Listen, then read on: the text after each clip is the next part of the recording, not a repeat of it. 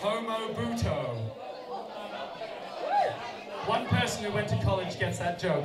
All right, there we go. Ladies and gentlemen, are we all back in the room? Are we back in the safe space? Are we all focused? Are We all here?